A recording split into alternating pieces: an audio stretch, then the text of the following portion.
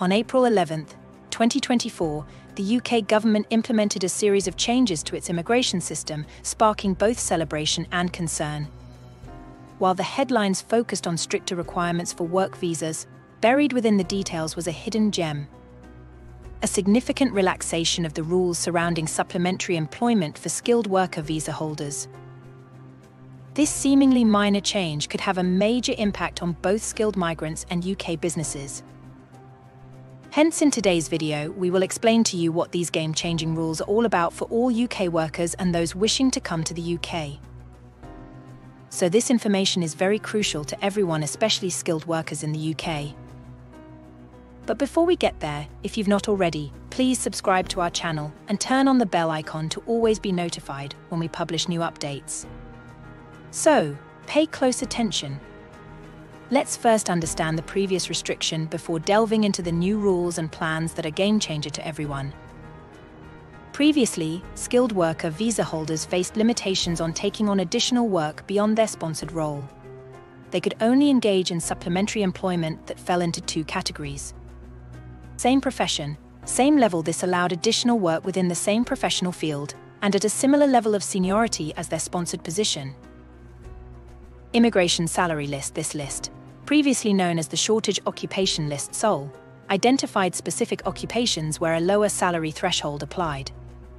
Skilled worker visa holders could take on supplementary work on this list, even if it differed from their primary role. These restrictions aimed to prevent visa holders from abusing the system and undercutting wages in other sectors.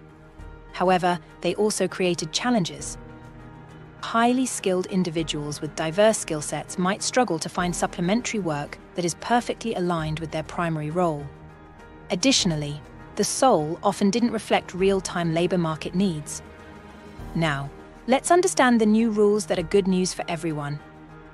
The new regulations introduced a significant change. Skilled worker visa holders can now take on supplementary work in any role that would itself be eligible for skilled worker sponsorship.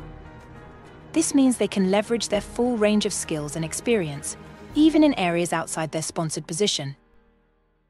For example, a software developer on a skilled worker visa could now take on freelance web design projects on the side.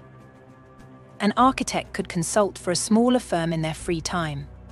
This increased flexibility offers several potential benefits.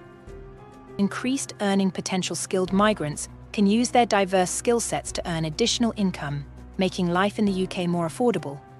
Enhanced career development individuals can gain valuable experience in new areas, broadening their professional horizons.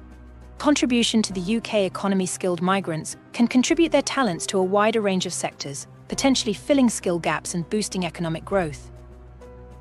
The long-term impact of these changes remains to be seen.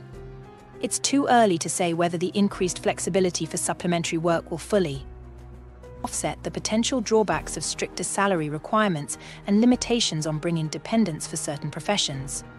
The success will depend on several factors, including Employer response will businesses adapt and offer more flexible work arrangements to attract skilled migrants? Skilled worker response. How will migrants utilize the new rules to enhance their careers and financial security? Government monitoring will the Home Office effectively monitor compliance and ensure the system isn't abused.